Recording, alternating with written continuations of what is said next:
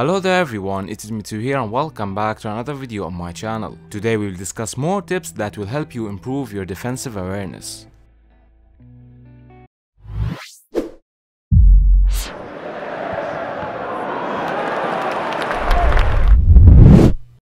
So as you guys know, this is the second part of this video and in this part we will discuss topics concentrating on individual positions. So let's get right into some in-game examples.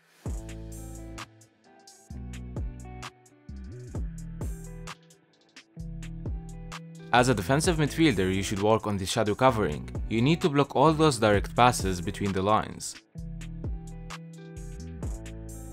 Here, Scott McTominay was going to cover the space behind Fred as he was pushing forward to press the opposition.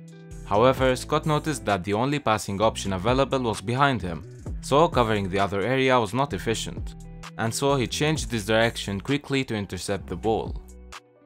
If you are a forward, you can intercept a lot of balls easily by getting back in those areas since the opposition will play many lazy passes as you can see. So concentrate on reading the passes early and going for the lanes instead of the players. In this example, you can see how Raheem Sterling scanned behind his shoulder while moving back. Then later on when the opposition was pressed by multiple players, the only option he had was the player that Sterling saw during his scan, so without looking again, Sterling knew his position and was able to intercept the ball after reading the situation. As a fullback, you can intercept many switches of the play by keeping this distance between you and your marker. Work on having those steps ahead and try to read the situation before the switch is played. It's a little bit harder when the opposition is behind you, so you'll need to check your shoulders frequently while moving back to your position. Try to have some control on the ball after those interceptions, as giving the ball away in those areas might be dangerous sometimes. You should always keep track of any forward runs behind you when the opposition is trying to stretch your defensive line as well. Before we continue, I would like to thank Orange Football Network for sponsoring this video. If you haven't heard about Orange Football Network yet, it's basically one of the best applications to have as a player or even as a coach. And guess what? It's 100% free. As you can see on the screen, they provide short videos with many tricks and analysis by top class coaches from around the globe.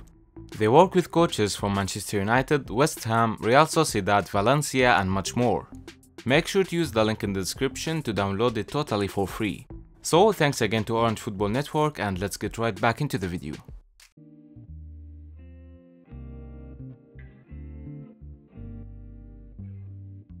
Let's say you are the only defender available. But guess what? You are running late compared to the attacker. They will reach the goal before you. Now, if you try to go for them, it will most likely result in a goal. However, what you need to do is to go in between the ball and the net. You just want to block the lane. The attacker will be dealing with enough pressure. They will feel you coming, so they will try to shoot quickly. Let's view some examples on this topic.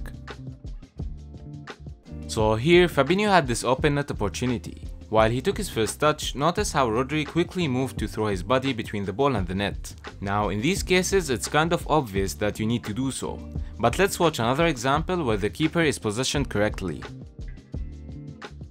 As you can see, the defensive line was stretched out as the ball was on the side. No midfielders were around to support the defense, so Foden decided to exploit the spaces between the two center backs. Once Rudiger noticed that, you can see how he started moving towards the goal rather than covering Foden's run. So by the time Foden received the ball, Rudiger was in a good position to block the shot.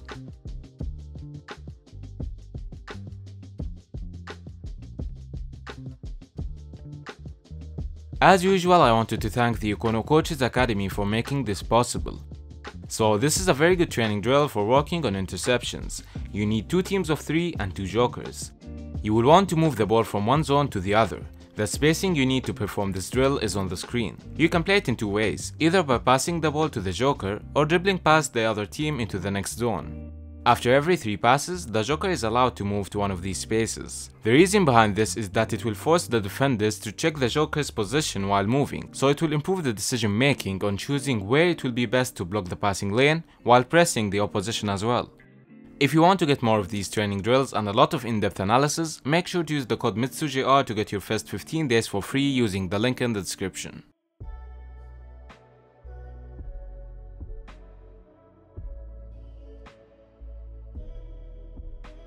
Let's get back to more in-game examples. If you find yourself behind the opposition, you will have a very high opportunity of winning the ball by these standing tackles, as the opposition will be focused on reading the player in front of them, so you'll see that the ball is not covered against you. This works really good when applying the high pressure. It will allow your team to counter the opposition very quickly as well. Just remember that going for the actions instead of the reactions will step your game up. In this example, Mbappe was marked by 5 players. Cancelo took the advantage of that and covered the only player available for a pass. He went for the passing lane and not the player.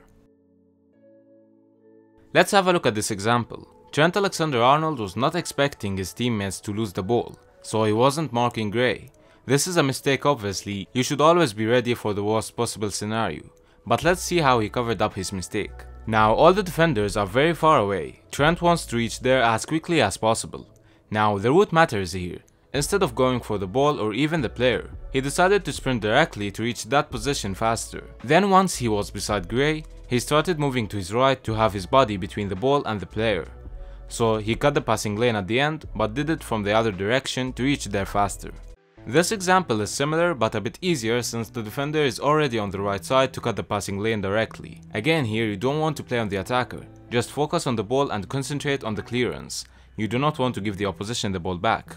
As a center back, whenever you are in such a scenario, where the opposition will receive the ball without any pressure between the lines, you can go for the interception, but you will only reach there in time if you read the situation before the pass was played.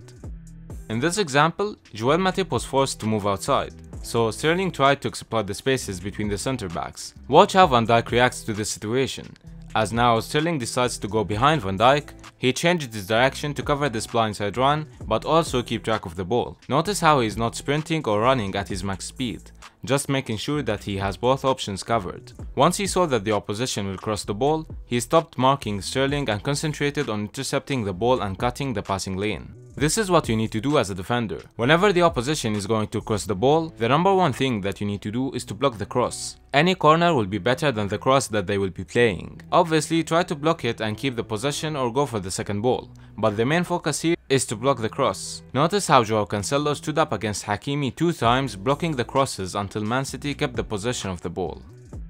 If you want to know how to improve your defensive positioning and reading of the situation, part 1 covers that, so you can watch it just by clicking on the screen. So that was it guys, I hope you have enjoyed the analysis. Make sure to sign up for free right now at the Ekkono Coaches Academy using the code MITSOJR from the link in the description. Thanks for watching and I will see you guys in the next one.